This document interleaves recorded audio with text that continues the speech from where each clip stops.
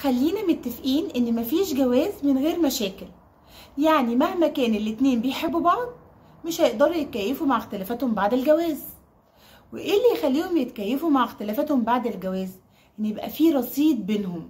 والرصيد ده بيبقى في بداية مراحل الجواز. في بداية. أول سنة جواز على الأقل يعني. إزاي نبني رصيد يسيب أثر طيب بين الطرفين وتبقى حياتهم ناجحة؟ طيب لو مفيش رصيد كافي يسحبوا منه إيه اللي هيحصل في الوقت ده؟ شريك حياتك هيجي بعد فترة صغيرة جدا يقولك وعفوا لقد نفذ رصيدكم.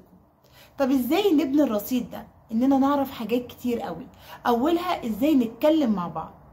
تاني حاجة إزاي نهندل مشاكلنا مع بعض. تالت حاجة إزاي نفهم بعض. يعني لازم نبقى فاهمين بعض كده. حتى بلغة العيون أنتوا فاهمين أنتوا فاهمين لما بيبقى في واحد يجي يقول إيه؟ بمجرد ما جوزها بيبص لها بتفهم هو عايز إيه.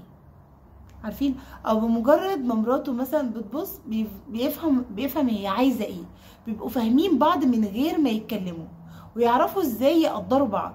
لازم يا جماعة نبني رصيد كويس جدا بينا في أول مرحلة الجواز علشان نبني علاقة ناجحة ومكملة إن شاء الله.